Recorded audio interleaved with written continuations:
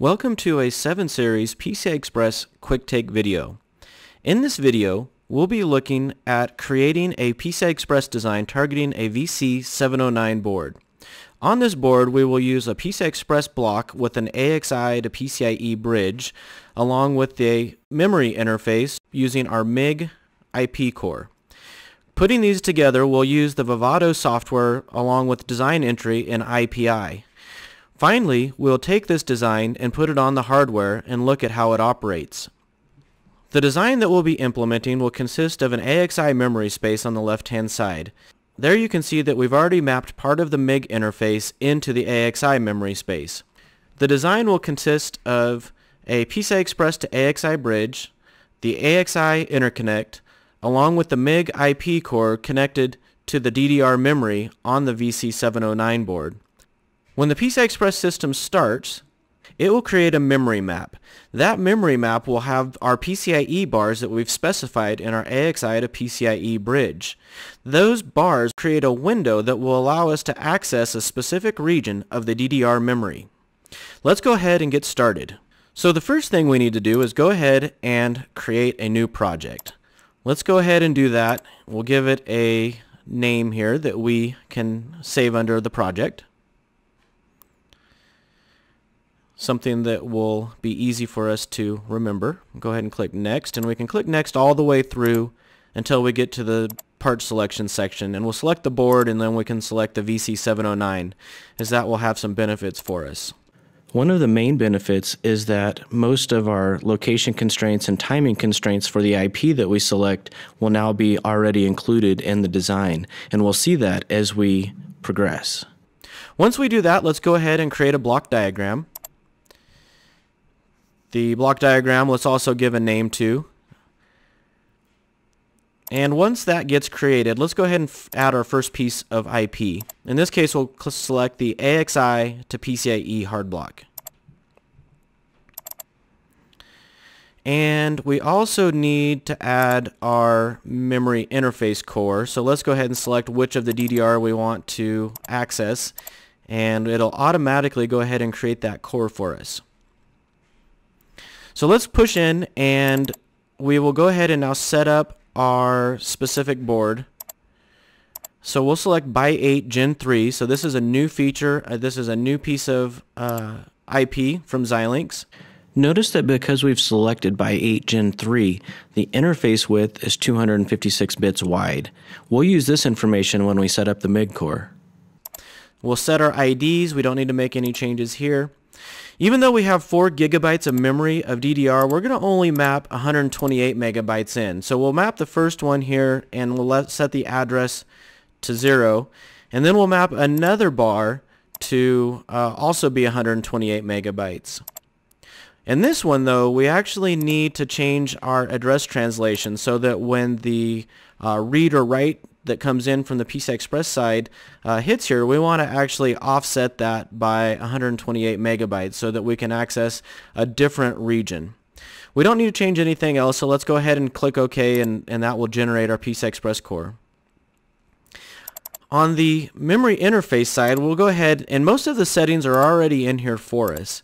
However, we do want to change the interface width to 256 bits as that will match the by 8 Gen 3 interface width of the PCI Express core and we won't have to go through any kind of uh, data converters to make those match. So let's go ahead and click all the way through here, get all of the settings that we need, and we'll go ahead and generate that core as well. Now that we've done that, we can use our automatic connection wizard to connect up a lot of the uh, different settings that are needed. So as you can see, we uh, get our AXI PCIe core. It goes through an AXI interconnect, uh, and then that connects to our MIG device. Now there is a, an issue in the 2014.3 software uh, that we're going to work around here by actually disconnecting the PCI Express uh, interface and then pushing in and connecting the four different PCI Express interfaces, making them external. And uh, that will make it so that things will work properly. And then we'll also connect our AXI control clock. Those may change in uh, future versions of Vivado, but for now we do need to do that. And let's also go ahead and run automation connection one more time there as it said there was something for us to do. Now there's a few other things that we need to add uh, to our interface. The first one is a um, differential buffer. This will be for our PCI Express reference clock. So we'll need to push in and set this to an iBuf DSGTE and we'll go ahead and connect it to the reference clock and make its inputs as uh, external so that they will uh, be input to the chip. We also need to add a, another piece of IP here which is a constant and this is just something that we need to connect to our AXI uh, PCI Express blocks. Um, we need to connect to our AXI PCI Express blocks uh, interrupt control signal just so we don't spuriously send interrupts. Again, that will probably be changed in a, a future version of the software. So we can also go in here and change the reference clock for MIG to be 200 megahertz uh, since we know that our VC709 does provide 200 megahertz. Now the last thing, or the another thing that we need to do here is set up our address space. And there's really not much for us to do. We are going to have the whole 4 gig uh, DDR memory as being accessible. And then the last thing we want to do before we leave here is we're going to put a mark debug signal on the AXI interface between the PCI Express block and the interconnect. So we'll be able to see any PCI Express transactions that are going through this design. And then what we also want to do is let's make some of these signals that we have uh, external that we can connect to the some of the LEDs that are available on the board. So we'll look at uh, the link up on PCI Express. We'll look at init calibration complete on the MIG as well as MMCM lock on the MIG. So let's go ahead and save our design and validate. We should see that there's no errors or critical warnings. And once that is complete, we can go ahead and exit out of here and go on to our next step. So the next thing we need to do is create a wrapper around our block diagram. So if we right click on this, we can say create HDL wrapper and we'll let Vivado go ahead and manage that. Once it's managing that, it will create a top-level wrapper file that will have all of the inputs and outputs of our block design that we have created. We could add other other logic here, but we don't need to for this design. We also need to add a top-level constraint file. So let's go ahead and go through and, and add this top-level constraint file to our project. We'll give it a name that we know, make sure that we know that it is a constraint.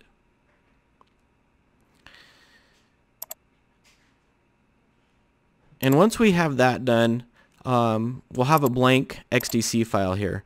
Now we're going to be putting some constraints into this, so we don't actually want these to be used in synthesis at this point. So we'll go ahead and mark that this constraint set file is not used in synthesis.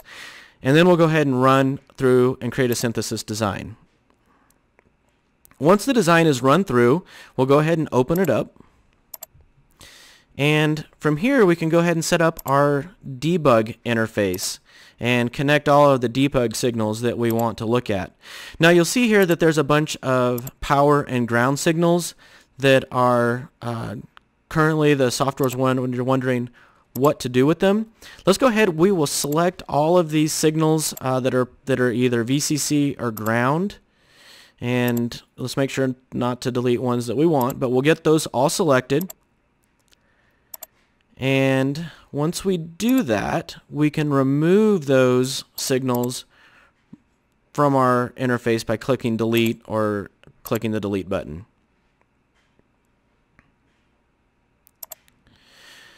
So that is all we need to do for that. We'll go ahead and click finish. And the next thing that we want to do is look at our clocks and make sure all of our clocks are defined. And so we'll run a, a report to look at the clock network networks and we see we do have a clock here that is not defined. This happens to be our PCI Express reference clock, which is 100 megahertz. So let's go ahead and make a 100 megahertz uh, constraint and add it to uh, that design as well. And then we want to look at any of the I.O. pins that may have not been placed uh, already. So what we can do to make sure to find out what the different uh, I.O. pins are, we'll go ahead and open up the VC709 user guide and looking through here we can find our different pins. So here we find that the ref clock is on AB8 and so let's go to our pinout and we'll need to go ahead and uh, select that particular ref clock and we will set the appropriate site. Now the other thing we need to look at is all of our LED pins. So going back to the VC709 design, we can find the different uh, LED assignments and we'll go ahead and, and find those particular uh, signals and then we'll go ahead and mark them. Now even though it says LVCMOS 18, which is what we want, notice that it has a red default next to it. If we don't go in and actually specify that, we will get a error in BitGen is, as it will say that is a default value. You need to go in and actually set that value correctly. So let's go ahead. We'll finish up here uh, finish all three of our LEDs and we will get all of these LVCMOS 18 IO standards set and that should be all of the pins that are in our design now are assigned. So we go ahead and click save and that will save all of our constraints into the constraint file that we generated. And so here you can see we've got a debug core that's been created. We have all of our pins and IO standards uh, have all been saved into this particular XDC file. So let's go ahead now that we have everything ready, we'll go ahead and implement the design.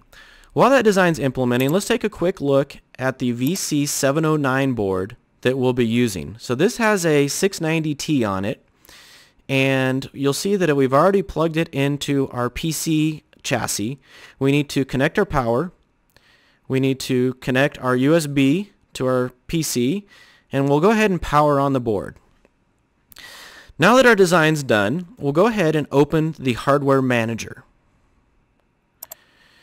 And you'll see as we open it, there's an error message or warning message here saying I can't find your, uh, or the there is no ILA core. Let's go ahead and program our device. So there's probably an old design on there. Once the done pin goes high, we can go ahead and turn on the PC so that we have a PCI Express reference clock and we'll go ahead and refresh the design.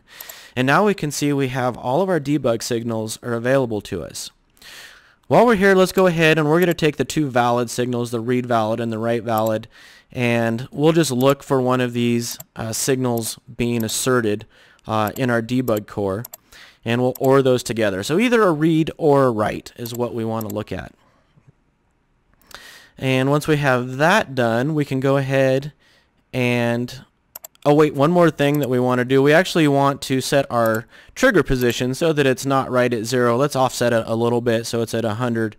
And then we'll go ahead and set the core uh, debug to trigger. So now we need a way to exercise our device. Now, Xilinx has a wide variety of XApps and white papers that we can use to uh, help us here. In this case, we're going to go ahead and browse down uh, through the Xilinx website to PCI Express specific uh, app notes, and we're going to look for something called the MET driver. And this MET driver uh, is a very simple Linux driver that we can put onto our PC and use it to exercise uh, the device that we've created. To use the MET driver, we have to log in as a super user. And we can go ahead and log in, and then we run lspci, and we do see that there's a Xilinx memory device uh, there that, that is there once the PCI Express is booted up. And we can run lspci with VVV to get a lot more details, and we see it did indeed boot up to Gen 3 by 8, which is what we wanted. So now let's go ahead and go into the XApp 1022 Linux driver. And what you'll see in here is that we need to, we can run a make command and we'll go ahead and make clean. And let's real quick look at the .c file or the C file that's here. Now notice we do need to set the vendor ID and device ID to match our particular design. We've already done that. We'll run make clean again because you can never be too clean. And then we'll go ahead and run make and we see our design compiles. The next thing we need to do is run this make device script which will put our PCI Express design uh, into the Linux side. And then we load insmod, which loads the device driver into the kernel. And then last we put .met, and that will run our PCI Express design. And we can see now we're getting traffic and we're getting passes. We do see that our design did trigger, and we can see that there's traffic there. So as you can see, we've gone all the way from concept to hardware in a little less than 15 minutes. And that is the power of PCI Express, the memory interface core, and Vivado IPI.